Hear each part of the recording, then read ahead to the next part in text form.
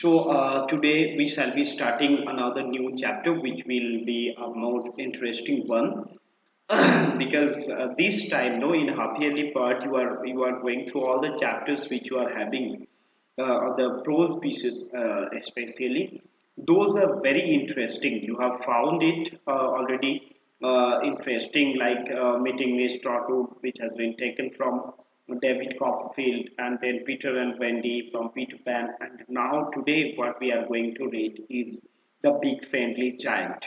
Now this big friendly giant if you if you uh, go for the uh, source of the story from where in your book uh, the story has been taken that is actually has been taken from the book uh, the champion of the world Danny the champion of the world we can see that from here your story has been taken. Now this is a book where the children uh, where a child whose name is Danny uh, his father is telling him a story.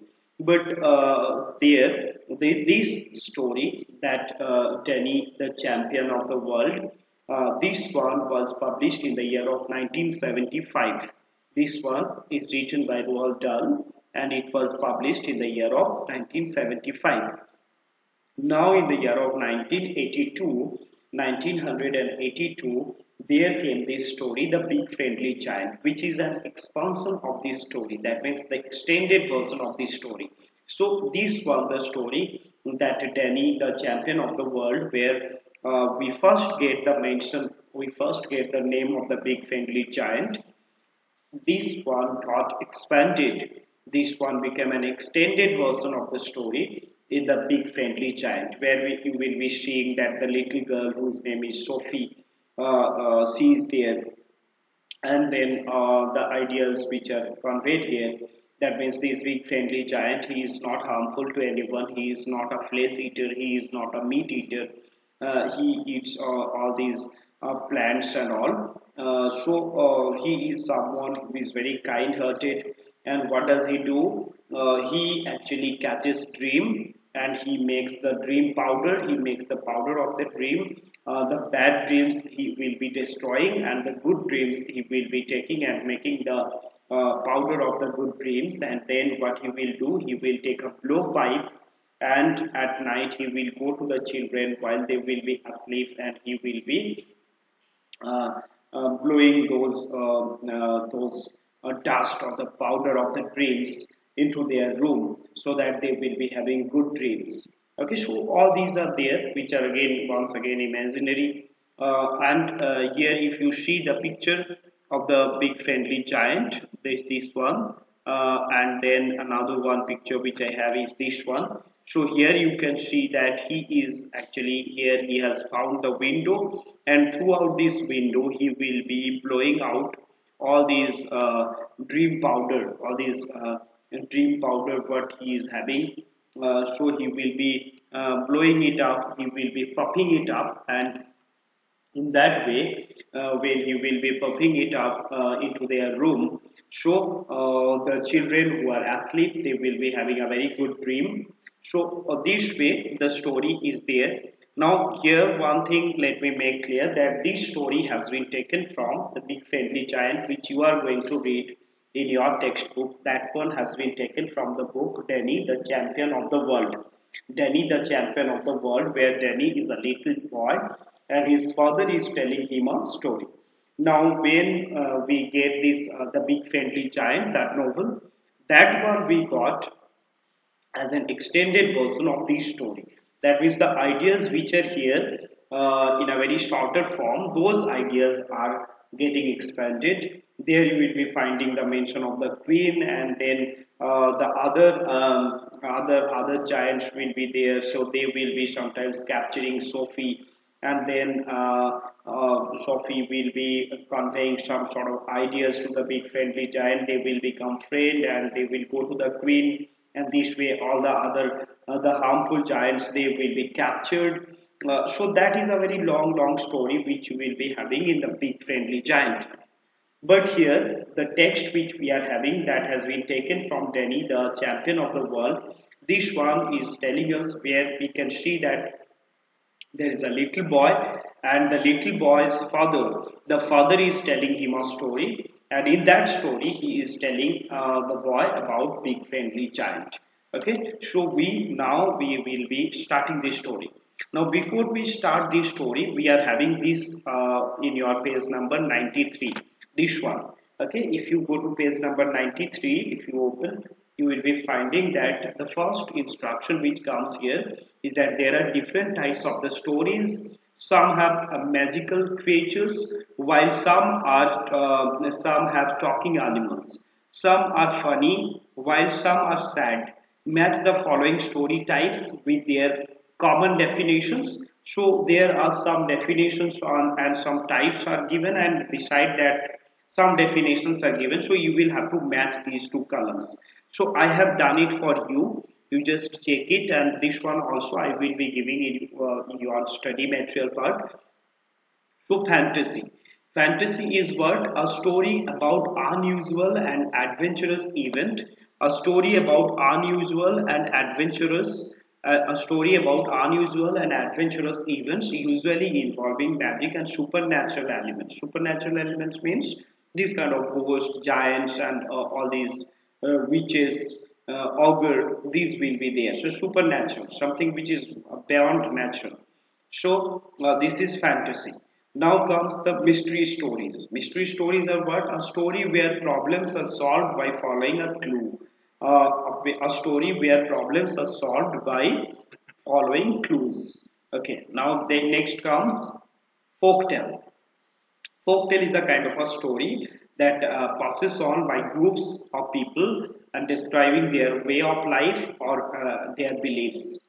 Uh, whatever their beliefs are or whatever their way of life is so that is described in folktale okay next comes science fiction a science fiction is what a story with a scientific theme and usually about space and life on the other planet. So that is a science fiction. Uh, you already have read many science fiction. So there you can uh, find that it is a story about science fiction is a story about the scientific theme. It tells us about something which is a futuristic thing which will happen in future and usually about the space or the life on the other planet. Now comes fable. Fable are the stories uh, uh, where you can get a moral. At the end of the story, there will be a moral lesson for you. Okay. Next comes comedy. Comedy is a humorous story with a happy ending. Comedy is a story which will provoke your laughter, which will provoke your fun, uh, which will which will be kind of uh, a story where you will be getting much funny things uh, there will be a happy ending in those stories okay? So these are there uh, uh in your book page number 93 now we are going to start your uh, text. The text which you are having is that first one it starts that the boy little boy let us read about a boy whose name is Danny who loved the stories that his father told him so Danny is a boy who used to love the stories what his father told him. Now, here Danny is making it very clear that his father was not extremely educated. His father was not a person whom you can call a highly educated person. So what Danny is telling us here, he is saying, my father was not what you would call an educated man. And I doubt if he had read 20 books in his life. So what he is trying to say here that his father is not a very uh, kind of an educated man and if you see that throughout his life or till today he has not read more than 20 books uh, so he has uh, means it is a doubtful thing whether he had read 20 books or not so that is what Danny is saying my father was not what you would call an educated man and I doubt if he had read 20 books in his life. But he was a marvelous storyteller. Though he may have not read many books, it, it is true that he has not read many books. But at the same time, he is a very, he is an excellent storyteller. Storyteller is someone who will make the story and will present to you in that way, in a very attractive way. Uh, so he is a marvelous storyteller. That means whatever stories he tells, those are the marvelous stories those are very attractive those are very interesting he used to make up a bedtime story for me every single night so every night when i was in my bed my father used to tell me a story every night. It was a kind of a daily routine for us that he will make a story for me. Now this one is a made up story. It's not like he has read it somewhere or he has um, um, uh, means it, it's a story which is completely and instantly he is making for him and he is telling him a story. So it's a story which is instantly being made up. And uh, every single night. And the best ones turned into serials. So the best of these stories it went on it had many parts and it went on like uh, uh, like the uh, various episodes you can say. Uh, various parts of the story. Like today what he said and from that uh, there will be the continuation on tomorrow and then tomorrow also the story will not get ended the next day again he will start from there but where, where he has stopped.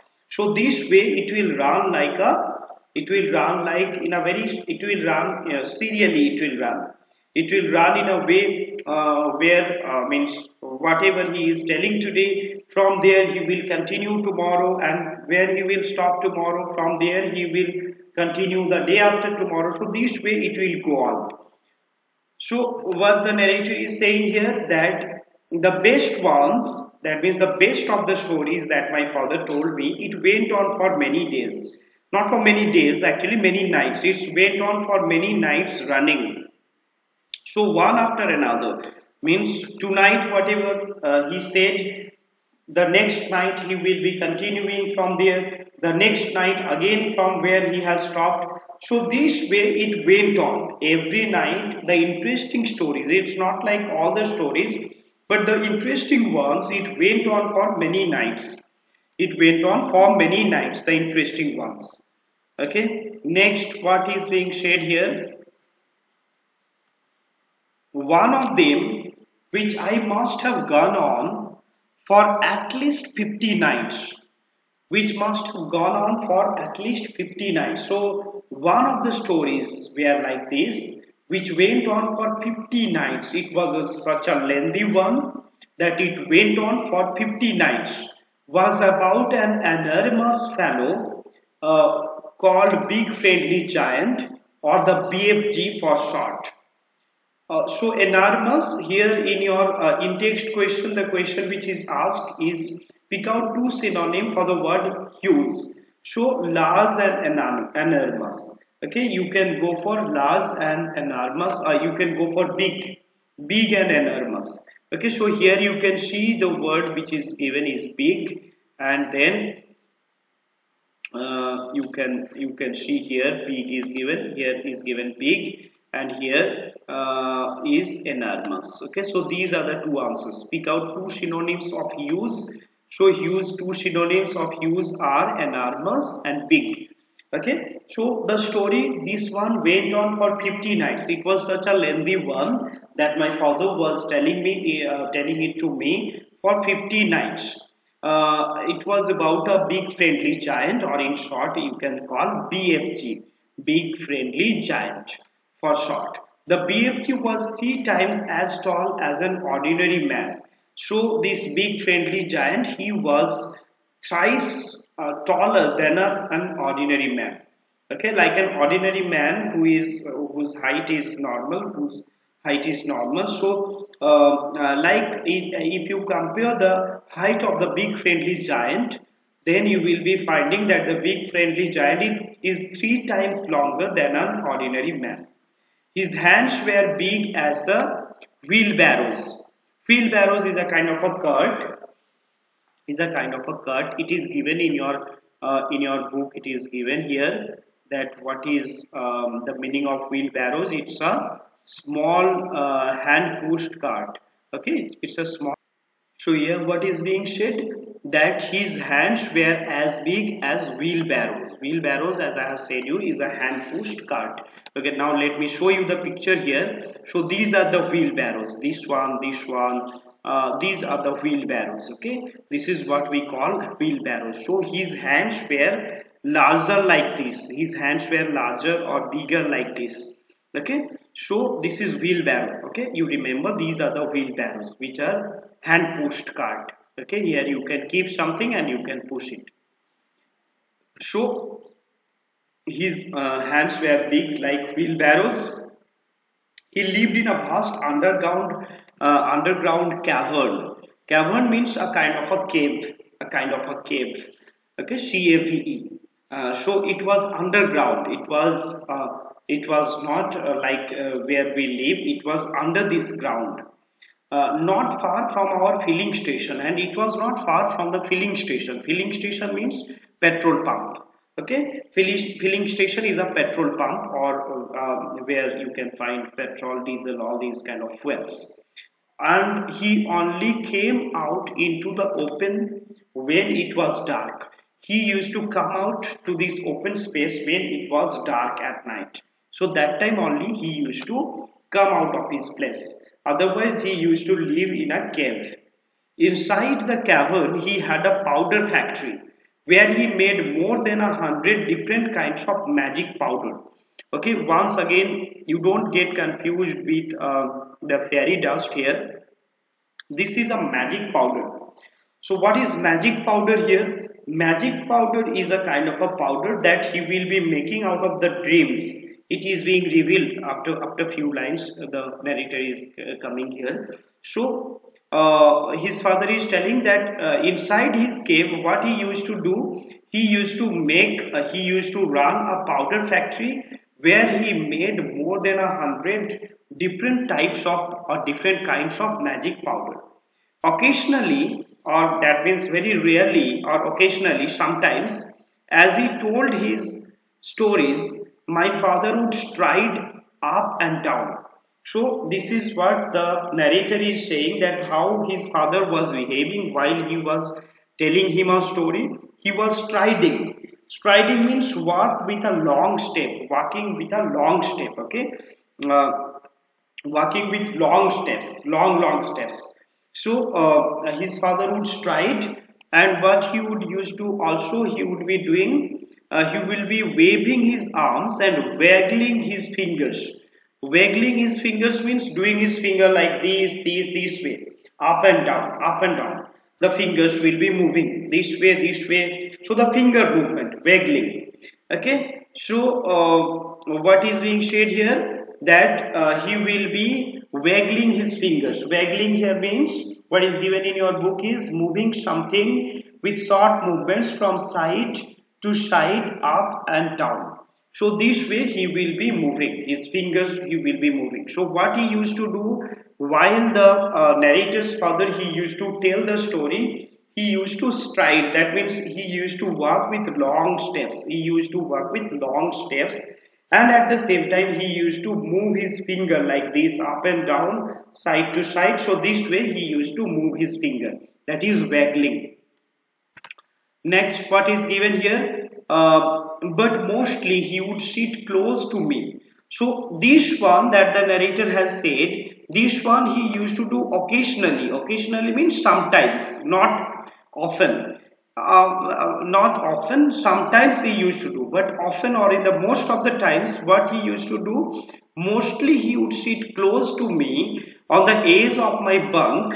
Bunk is a small bed, bunk is a narrow bed that is fixed to the wall. Okay, bunk is a narrow bed that is fixed to the wall let me show you the picture so bunk bed is actually this kind of a bed one side of which will be attached to the to the wall okay? One side of which will be attached to the wall. It's a very narrow kind of a bed. So this kind of bed we call a bunk bed. So uh, uh, so sometimes what you will be doing most of the times sometimes he used to stride he, he, used to while he was telling me the story he used to stride he used to walk with long steps and uh, um, he used to wave his finger or waggle his finger but mostly but most of the time he would sit closer to me on the edge of my bunk on the side of my bunk bed the bed which I showed you just now and, and speak very softly in a very soft tone. He used to tell the story to me in a very soft voice. The big friendly giant makes his magic powder out of the dreams that the children dream when they are asleep. He said, What did he say? He said that the big friendly giant he used to make this magic powder out of the dreams of the children. When the children they are asleep, when the children are asleep, the dream that they will be having out of those dream, uh, the big friendly giant he used to make this magic powder. Okay. Now, how I asked, tell me how that. So the boy, the narrator is asking his father, you tell me how this is very surprising, this is very interesting that the big friendly giant he used to uh, make the magic powder out of the dream of the small children. Now you tell me how did he do so? Dreams, my love, are very mysterious thing the father is saying the father is uh, calling the son that my love. Dreams are the very mysterious. Dreams are very much mysterious. Mysterious means something which is having some mystery something uh, there is uh, some sort of uh, mystery with uh, uh, that. You see that float around in the night here like little clouds searching for sleeping people so dreams, the father is saying that you see they float around in the night air like little clouds. So as if the dreams, here the picture also is being showed uh, that here you can see that these are the dreams which are floating like these are the dreams which are floating like the uh, little clouds searching for sleeping people and the, as if these clouds as if these dreams they are searching for some people who are sleeping. So when they will find some people who are asleep, they will go and they will become, they will take the form of the dream. Can you see them? I asked. Uh, so the narrator, who is a boy, uh, the small boy, he is asking, can you see them? Can you see the dream? The father is replying, nobody can see them. The father is replying that nobody can see them. Then how does the big friendly giant catch them? The uh, son is asking the little boy is asking then how does the big friendly giant catch them? Then how the big friendly giant will be catching them? If you cannot see it if i cannot see it then how can the big friendly giant catch them? The dreams how can he catch them? The father is saying uh, uh, my father said that that is interesting part. That is the interesting part.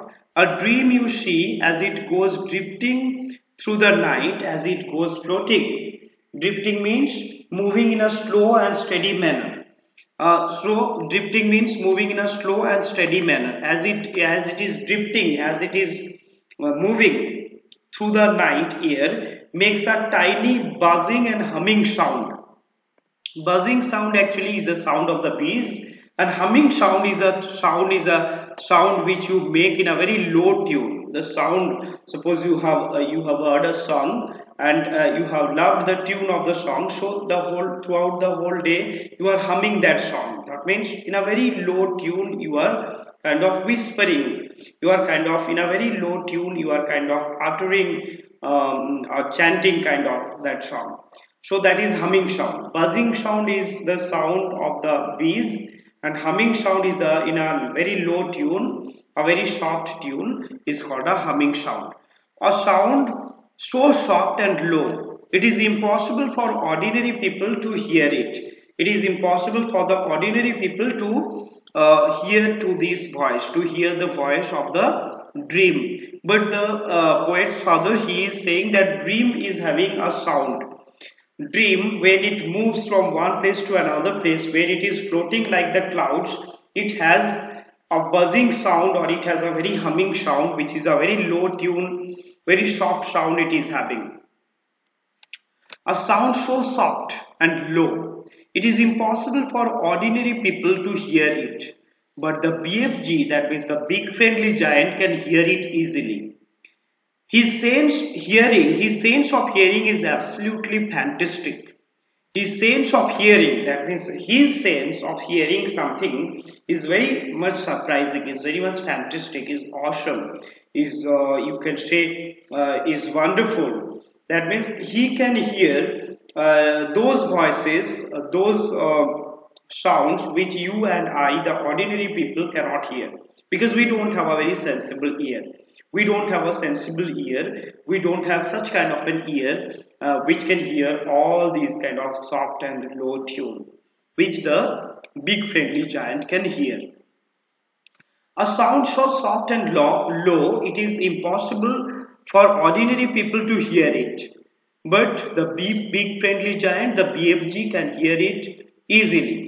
His sense of hearing is absolutely fantastic. His sense of hearing or his capability to hear something is wonderful. Is very interesting. I loved the far intent look on my father's face. So now the father was having a very deep, engrossed kind of a look. Very, uh, that means he is making up the story, so he is having a very philosophical, very deep, uh, uh insightful uh, uh, kind of a, look in his eyes. So intent here, what is given in your book is showing strong interest and attention.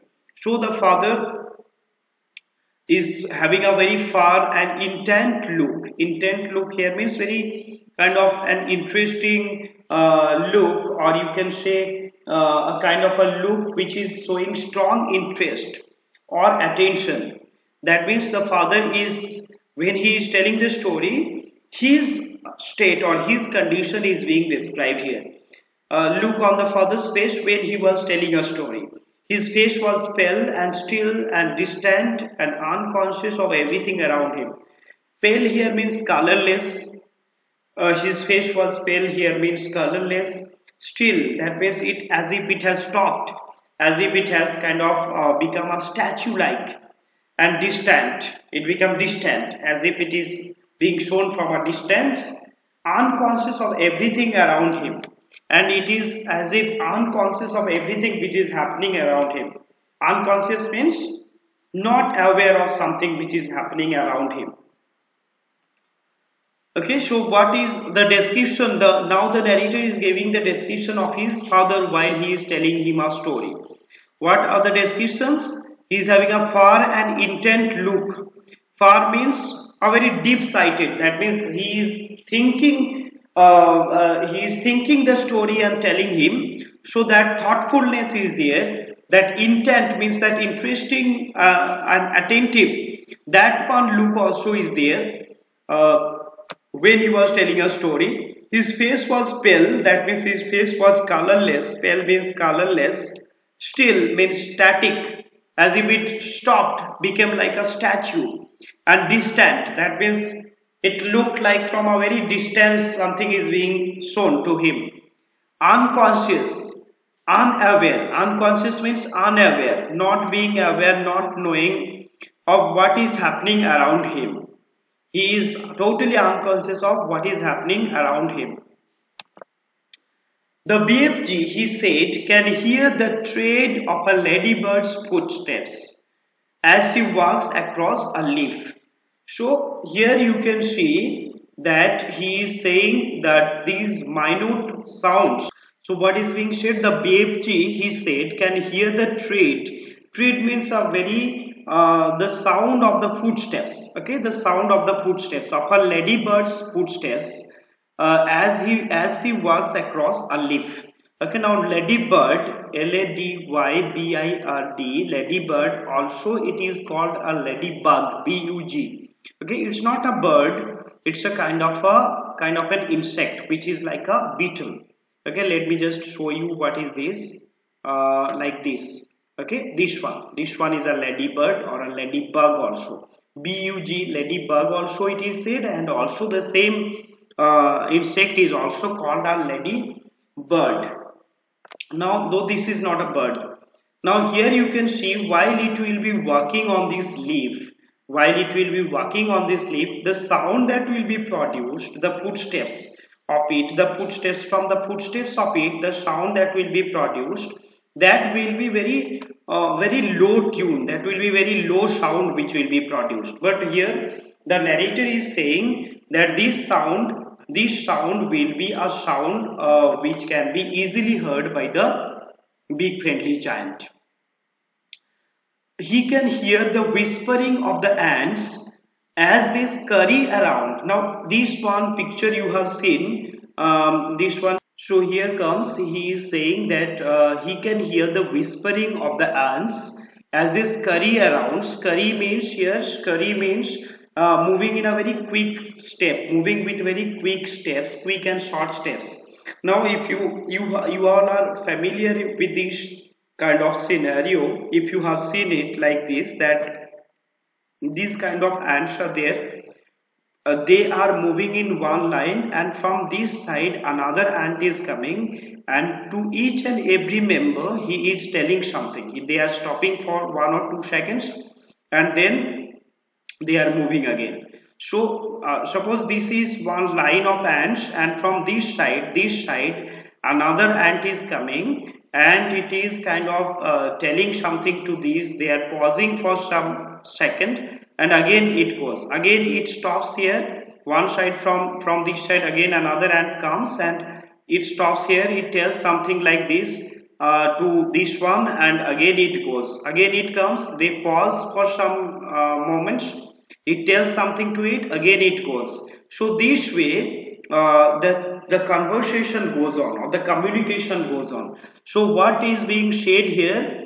The father is saying here that the father is what he, he is saying here that um, he can hear the whispering. Whispering means the murmuring sound or the uh, that means the sound where the uh, voice will not be coming only the lip movement can be seen so a very whispering sound uh, of an ant as they scurry, as they scurry means as they move very quickly with short steps around in the soil, in the soil, in the land, talking to one another, talking to one another.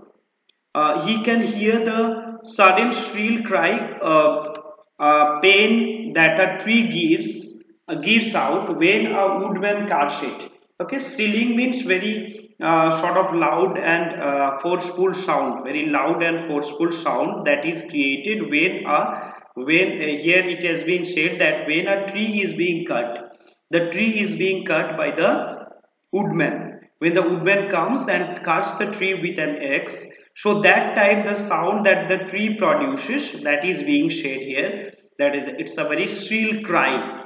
So in this cry also that means in reality you cannot listen to it in reality you cannot listen to the sound of the trees you cannot listen to the sound of the ants you cannot listen to the sound of the ladybird when it is moving through the uh, moving through the leaves. Okay but this big friendly giant he has this capability of hearing to all these knowledge all these noises all these very soft and low tune. Uh, yes my darling there is whole world of sounds around us that we cannot hear because our ears are simply not sensitive enough. Our ears are not sensitive. That means our ears are not capable of listening to all these sounds. Okay, our ears cannot listen to all these sounds. So we cannot listen to all these sounds. So we cannot hear these sounds. But this big friendly giant, he has the ability to listen to all these sounds. So this is what is being shared here we shall be continuing from here uh, the next day. Uh, let us stop it here uh, for today. Uh, I hope you have understood everything. Uh, and in your study mention part that uh, question of page number 93 will be given. Achha, very quickly let me tell you what is the question in text question. Next in text question here comes. Why are we not able to hear the sound of a dream we are not able to hear the sound of a dream because a dream has a according to the narrator's father the dream has a very low uh, and soft sound. The sound of the dream is very low and soft for us for the ordinary people. This is very low and soft. Okay? So all these uh, in text questions also i shall be giving you in your study material some other day means the next day. Together all will be given okay? So that's all for today. Have a very nice day. Thank you